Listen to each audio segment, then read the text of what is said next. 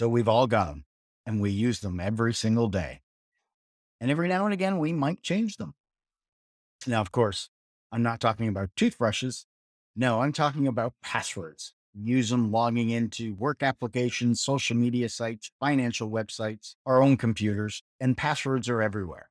And until technology improves it for us so that we don't have to remember as many passwords, they're going to be around for a while.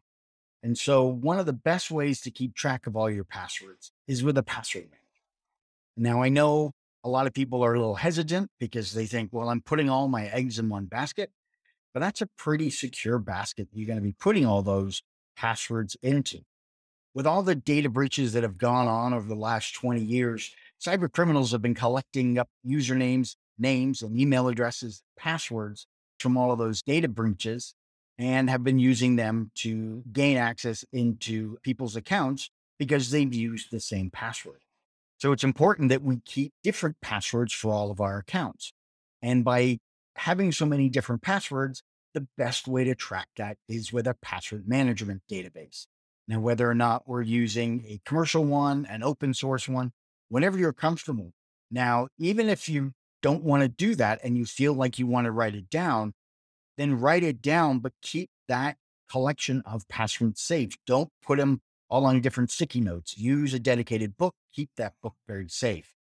But even then, there's a risk that if you lose that book or the book gets damaged, that you're going to recreate all of your passwords as you try to gain access back in there.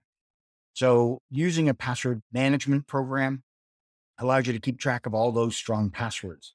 Personally, I've been using one now for pretty well the last 10 years. And I've got almost 800 entries inside that database. I keep track of it for any and all accounts that I create.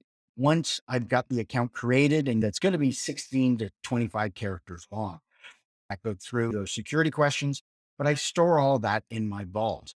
I think of all the passwords that I have in my database, I think I only know about 10 to 15% of them. All the other ones have been created by the application and stored in there. I lose that database, I have a backup of it. I have a backup in multiple locations. So that way, in the event that something does happen, I can recover from that and keep my passwords.